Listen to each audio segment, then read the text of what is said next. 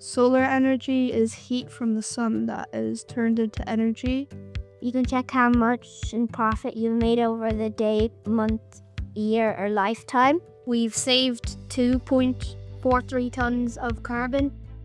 Beaumont School has a very active Green Committee. The Green Schools is a very integral part of the school, has been for the last number of years, and it looks really holistically at everything to do with the environment from water, waste and energy.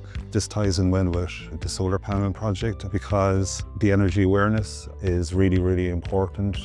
Schools have difficulty, I suppose, managing their budgets. There was no capital expenditure pot available to the school. So we, we came up with the idea that if this solar system was large enough, it would generate enough electricity that over a period of time, the savings generated would in turn pay for the capital expenditure.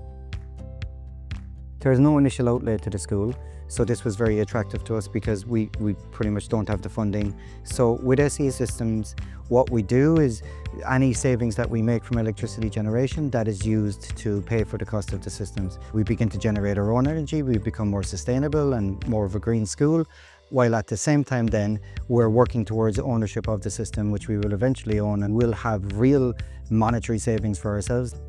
We're really excited to talk to you today about the 42 solar panels that we've installed by a company called SE Systems. There's a great learning opportunity for the students in the school and the staff to be able to see how, I suppose, installing a renewable energy system such as solar PV could allow them to generate their electricity, understand how they spend electricity. Solar energy is renewable so we can use it again and again, unlike coal and oil.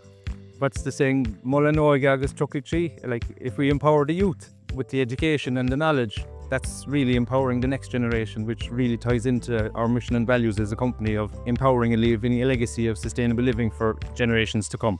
This project has been really exciting for the school. The kids are always curious to see something new happening um, and they really absorb everything.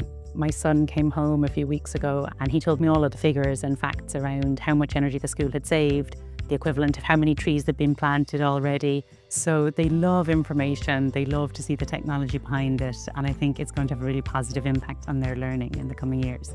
8.40 kilowatts.